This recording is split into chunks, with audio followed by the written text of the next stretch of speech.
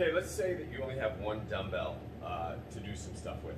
So what we're gonna do is a quick circuit of a couple different exercises that are gonna move back to back to back. You're gonna go one single-sided, and then you're gonna switch sides, to do the same thing on the other side, rest for a second, and then repeat that process. So here are our exercises. So if this dumbbell is pretty light, right, maybe I'm gonna do a balance row. So I'm working on stability and also a little bit of strength in that back side. So maybe I'll do five rows on this side, and I'll call that five. Then we're gonna go into a shuffle.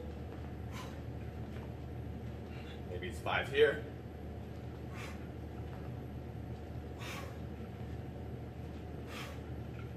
Then maybe I'll go into an uppercut.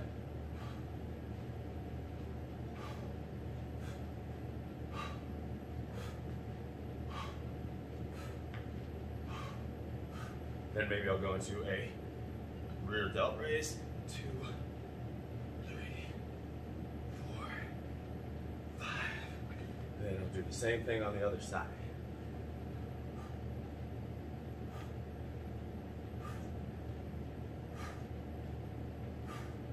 Go into a shuffle.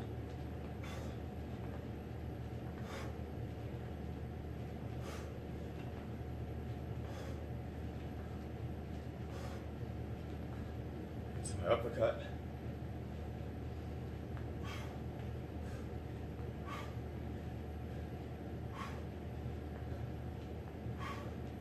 Rear delt raise.